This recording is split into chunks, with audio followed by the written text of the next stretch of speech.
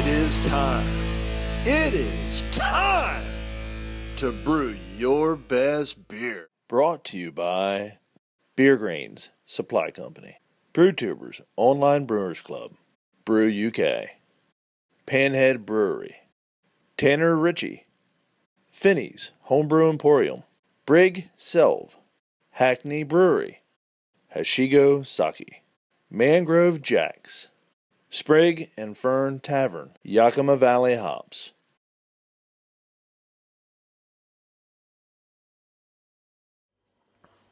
Hi, so this video I'm going to be doing a beer review for the SJ Port Challenge in the European Division.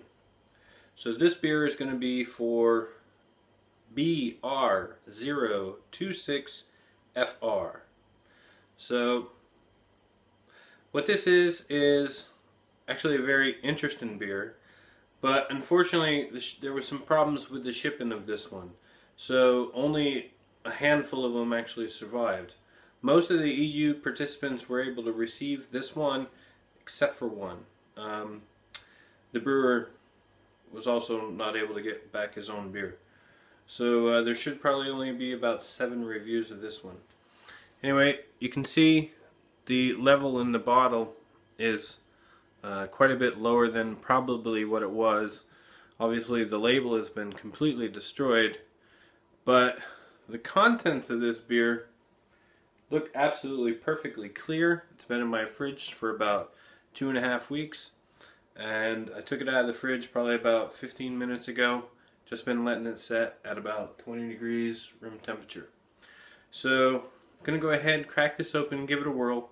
But before I do, I'll go ahead and I'll show you the label. Alright, so here's the label. You can kind of see the specs on it. It's a 5.5% 40 IBU beer. But what's very interesting about this one is that it's a blend. So it's a blend of a 6% pale ale, um, which was used 90% Pilsner malt, 10% wheat malt. And in that beer, they used Amarillo and Nelson Sauvin.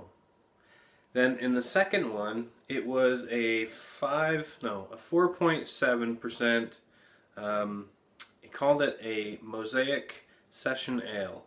And that used 85% Maris Otter, 8% Crystal, and 7% wheat. So I'm really looking forward to crack this open and give it a taste.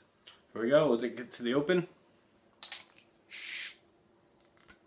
Still got a bit of a hiss. So, um, uh, and I can see some carbonation rising up around there. So that's, so that's definitely, you know, encouraging.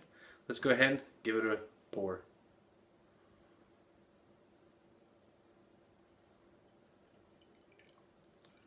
It's looking crystal clear.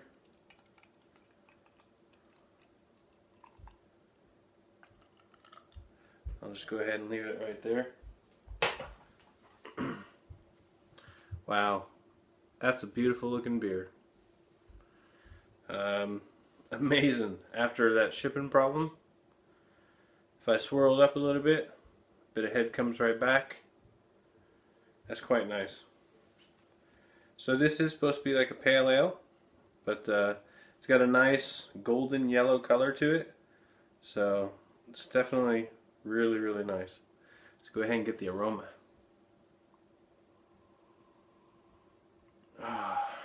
I get that Nelson Sauvin. I get that sort of white grape winey sort of aroma. smells like some uh, light fruit, so like passion fruit, like peaches. Uh, some other stuff in there is very interesting. Uh, let me go ahead dive into this and uh, tell you what I think. Cheers, BR026FR. Thank you very much for letting us try this out. Cheers.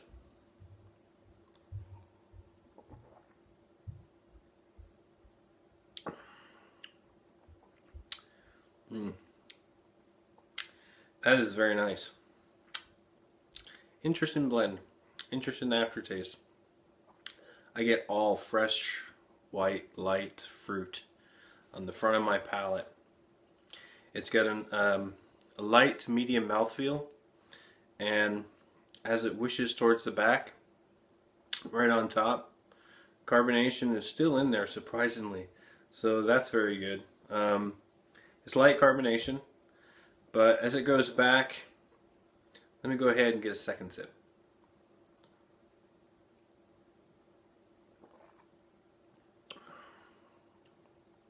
Light fruit again. Peach, apricot, um, passion fruit. Settles in the back. The aftertaste, maybe a bit of mosaic. Sort of berryish, very, very light berry. But uh, that's what I think about this beer.